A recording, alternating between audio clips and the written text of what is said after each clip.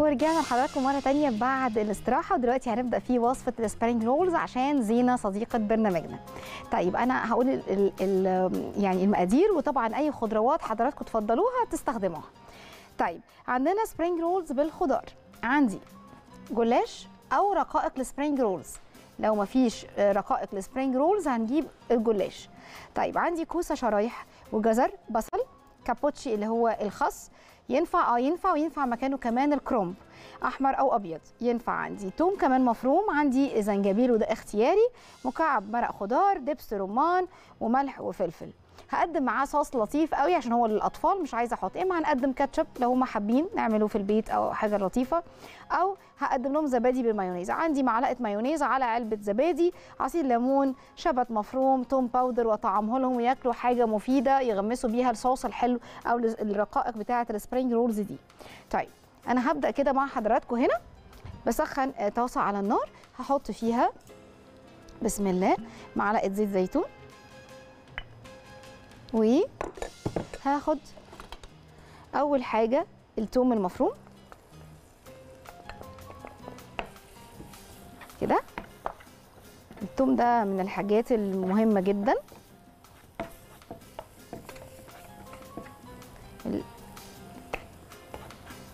المكونات بتاعتنا بسيطة لكن تقدروا تحطوا بقى مشروم تحطوا قرع عسلي تحطوا هنزل البسلة. حضراتكم تحطوا بقى كوسة فلفل ألوان أي حاجة من الخضار المحبب ليكم مفيش مشكلة خالص. والكوسة. ممكن القرع كمان مكان الكوسة لو مش يعني ممكن حاجات كتير. وهحط كمان الخس. تستغربوش. هلبس كده. اللبس وهنبدأ بقى إيه نشوح الحاجات الحلوة دي وإيه ونلفها مع بعض. رشة طبعا ملح وفلفل بس أنا قبلها هحط مكعب المرق الخضار. ده مكعب خضار بيدي تيست وطعم.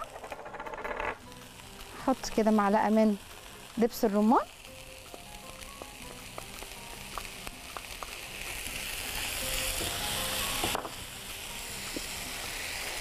لو عندنا كرات نحط.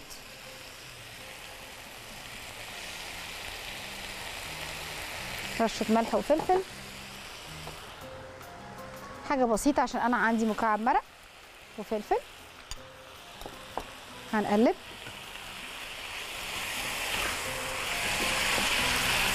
تقليبة حلوة للخضروات دي.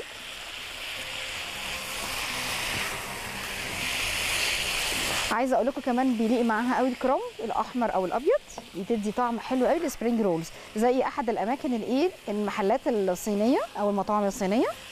بيستخدموه كتير قوي في ال spring rolls بتاعهم.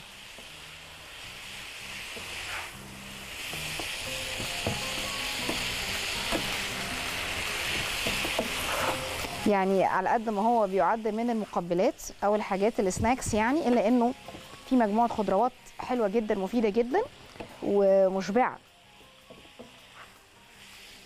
في ناس بتعمله بال noodles ال glass noodles اللي هي الشفافة دي بيعملوه في المطاعم كده. أنا بوري حضراتكم هنا بصوا اللانشون.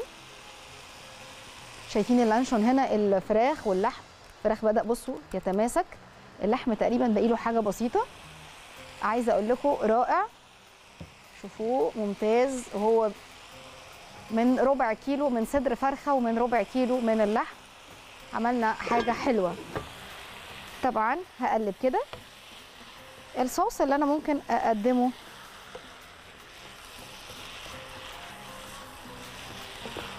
بصوا نقلب تقريبا حلوة كده.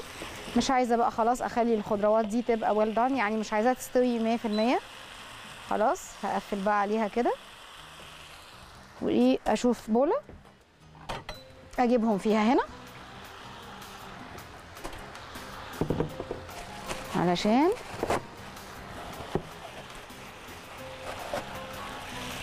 نصب فيها الخليط. كده.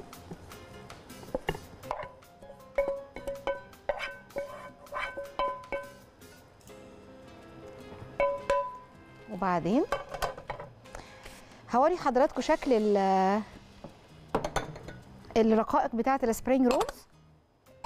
هي بتتباع شكل مربع. ده بتتباع كمان على فكرة مش بس في السوبر ماركت في آه، محلات اللي هي بتبيع الكنافة وال الحاجات اللي هي المعجنات بتوع الكنافة والناس دول بيبيعوها.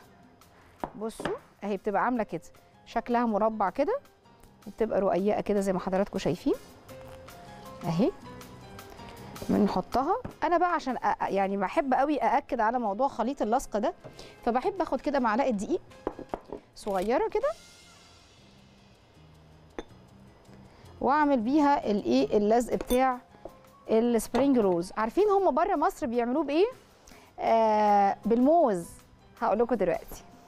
كده بي بيجيبوا الموزة وإيه؟ ويقشروا منها جزء ويعملوا بالموز ال- يلزقوا بيه.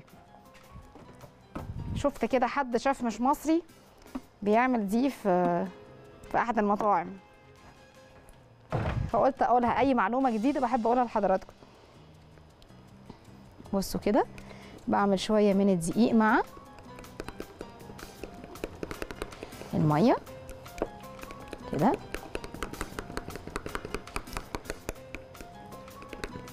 كده.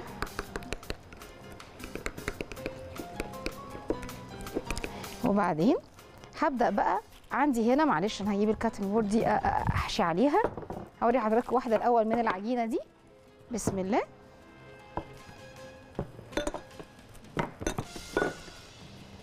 أهي. كده. هناخد شوية من الحشو. طبعا يفضل إنه ما يبقاش فيه إيه ال- سوائل يعني. وطبعا إذا ده إذا ده حصل يبقى حضراتكم ممكن تحطوا معلقة نشا أو معلقة دقيق. هنيجي عند الجزء الأخير ده وهاخد كده بظهر المعلقة وهعمل كده.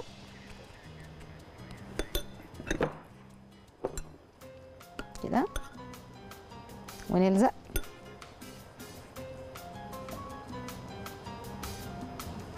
كده. هنا. نعمل تاني.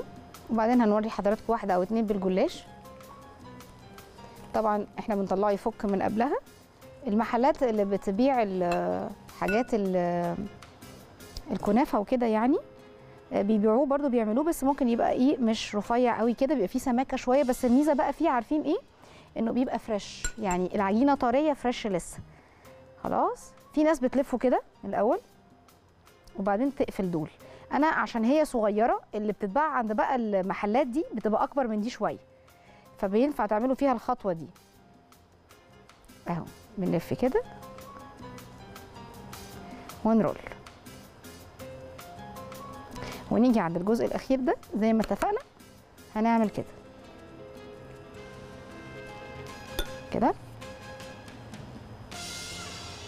كده ونقفل. اهو. آه يا روحي. هناخد هنا بقى الجلاش. خليني اوري حضراتكم من الجلاش. لو عندنا جلاش وما عندناش spring rolls مش هنعمله يعني لا هنعمله. شايفين هنا؟ بسم الله الرحمن الرحيم. هقطع نصين على اعتبار انها أنتوا إيه يا ولاد؟ نشلتوني في السكاكين كلها ولا إيه يا ابو حميد؟ إيه أبو حميد أنت بتتخانق بره ولا إيه؟ هات لي سكينة طيب. طيب كده. ده خد كل السكاكين الولد. خايف من إيه؟ مش عارفة. بسم الله. أهو. خايف مش هتهور والله أنا ما بعملش حاجة. السلاح يطول أنا شايفه يا عم محمد جبت لنا الكلام أهو شوف. ماشي. هعمل كده بالنص.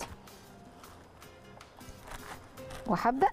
النصين دول هفصلهم. هشيل جزء بقى. تقدروا حضراتكم تشيلوه في وقت تاني ولازم يتغلف عشان ما ينشفش. وهعمل دي كده اهي. بس بقى في الجلاش هحط ورقتين فوق بعض. شايفين إزاي؟ اهو. اصبح كده. ماشي الكلام؟ طيب هاخد من الجلاش عشان برضو ابقى عملت مع حضراتكم. ورقتين. كده. بسم الله الرحمن الرحيم. بسم الله. هنا. شوفوا بقى دي إيه؟ آه، كبيرة سن أهي. بتاعت الجلاش دي كبيرة سن. أهو. وده عشان خاطر عيونك يا زينة. خليني آه، أقلب كده. نعمله بس ذهبي اللون. ويقرمش. خلاص وهعمل كده. وهاخد دي. وهنلف عادي جدا. اهو. وهاجي عند المرحلة الأخيرة وهعمل كده. وهرول. اهو. خلاص يبقى إحنا كده عملنا من الجلاش عملنا من رقائق ال spring rolls. اهي. نقلب بس دي على الظهر كده. تاكلوها بقى سخنة بالهنا والشفا مع صوص جميل. تتقدم زي ما إحنا مقدمينها في الطبق كده. وكمان نقدم دي معاها. الجلاش بقى يفضل يفضل يدخل الفريزر قبل ما تحمروه بس لأن رقائق ال spring rolls مخصصة لإنها تطلع في وقتها. طبعا هنشيل دول زي ما قلت لحضراتكم كده مش هرميهم.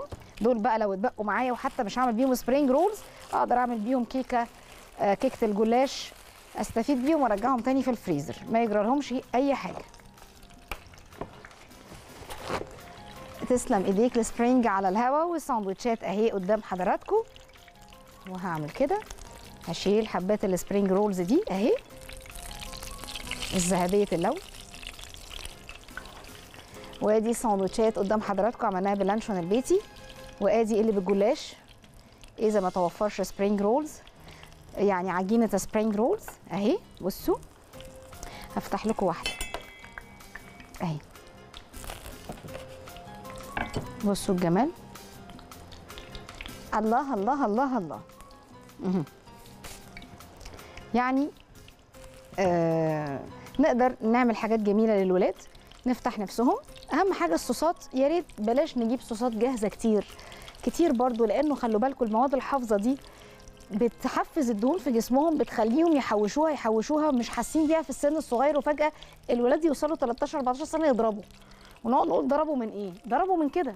ضربوا بأنهم بيحوشوا كل الحاجات دي في جسمهم. فإحنا يا ريت نحط بدائل.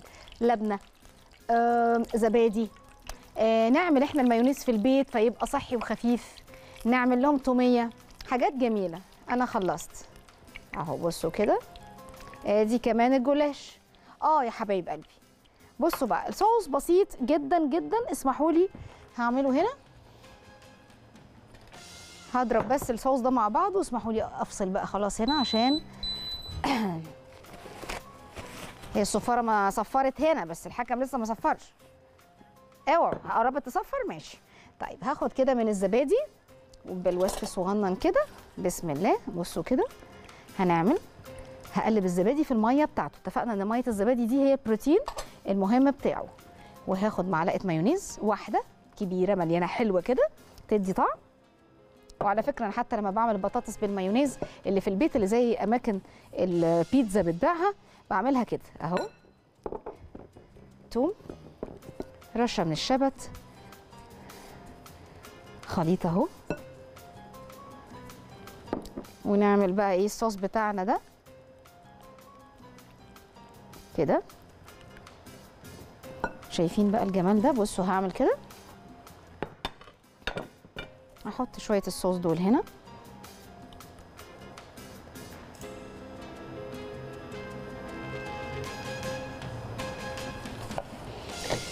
وهاخد القمر دول كده.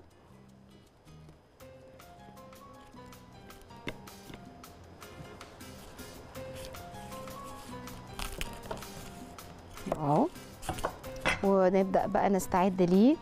آه، دكتور آه، دينا آه، أبو السعود المستشار الطبي لشركة بايو ناتشرال اللي هتشرفنا وتنورني في الفقرة اللي جاية. هنتكلم بقى عن كل الأسئلة اللي حضراتكم بعتوها لنا.